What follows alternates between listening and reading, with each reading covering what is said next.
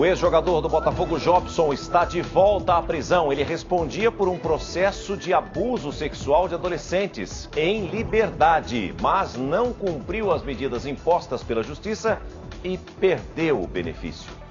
A decisão da justiça acontece logo depois que ficaram comprovadas as irregularidades no processo do ex-jogador. Em junho do ano passado, o atleta foi preso suspeito de ter abusado sexualmente de quatro adolescentes. Ele pagou uma fiança de 22 mil reais e passou a responder ao processo em liberdade. O juiz deu uma série de restrições para que Jobson cumprisse, entre elas que ele não entrasse em contato com as vítimas, que não usasse nenhum tipo de drogas, também que não frequentasse bares e boates. Além disso, ele deveria ficar em casa entre 7 horas da noite e 7 horas da manhã e só poderia sair de lá com autorização. Mas ele descumpriu duas das medidas. Foi um acidente e uma briga no interior do Pará, que chamaram a atenção do juiz responsável pelo caso. Na última sexta-feira, o Jobson e mais quatro pessoas estavam num carro que se envolveu num acidente de trânsito.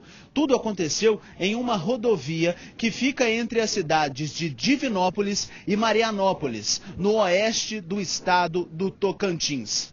O Jobson, ele foi levado para o hospital, mas saiu de lá antes mesmo da chegada das autoridades. Então, ele nunca explicou o que realmente teria acontecido. Mas o fato é que os policiais encontraram no carro várias latas de cerveja e uma garrafa de uísque. O jogador também teria se envolvido com uma briga e agredido um juiz e um jogador de futebol durante um torneio no Pará. Em 2010, veio a primeira punição. Jobson ficou seis meses afastado do futebol depois de ser pego no exame antidoping. Na época, o jogador estava perto de assinar um contrato com o um Cruzeiro de Minas Gerais. Ele confessou que fez uso de crack e cocaína. Em 2015, quando jogava por um clube árabe, Jobson se recusou a fazer o exame antidoping. Primeiro, foi suspenso pelo Comitê da Arábia. Depois, foi a FIFA, a Federação Internacional de Futebol, que suspendeu Jobson de qualquer atividade relacionada ao futebol até março de 2018.